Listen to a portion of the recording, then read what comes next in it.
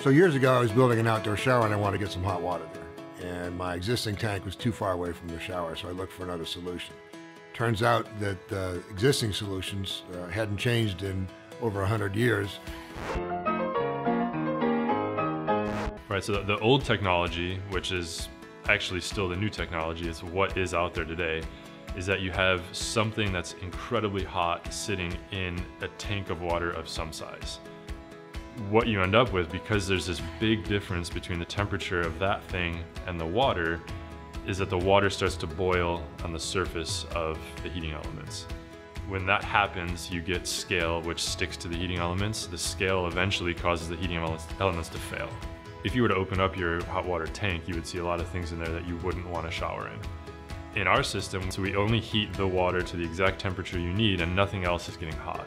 So the water that's coming out of our system is identical to the water that's going in, it's just warmer. If it weren't for SCRA's SC Launch program, it'd be hard to be where we are right now. Uh, their money helps, uh, their support helped, but really, it really gave us a lot of credibility for future rounds of financing. And when we talk about partnerships, you know, we're working with the state of South Carolina, and that adds a lot to us. The difference in our technology is that uh, we actually use advanced electronics and use the water itself as a heating element. With the goal of having the utmost purity, precision, and performance. I would say way back when hot water was actually a luxury. It was something you didn't have even every day. It then transitioned to a commodity that everyone expected to have but didn't really understand how it worked. And so now we've actually made it something that you interact with on a daily basis. You know, you should know your water quality. You should know how much energy you're using to heat your water.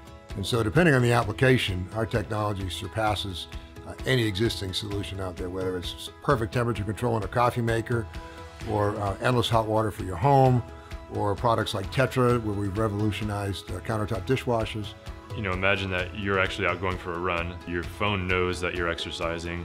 It knows when you're getting close to your house, and presumably you may want to say, hey, every time I take a run, I'm going to take a shower after, and I want it to be at a different temperature than the shower I take when I wake up.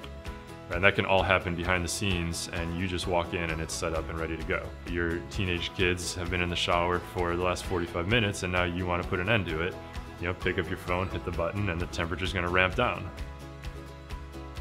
Probably the coolest thing about this company, from my perspective, it's the fact that once people hear about it, they want to be part of it. We haven't had to go outside the state for anything we're trying to do. Uh, everything sits here in South Carolina, and the resources are here. I mean, the network is huge, and everybody's willing to help.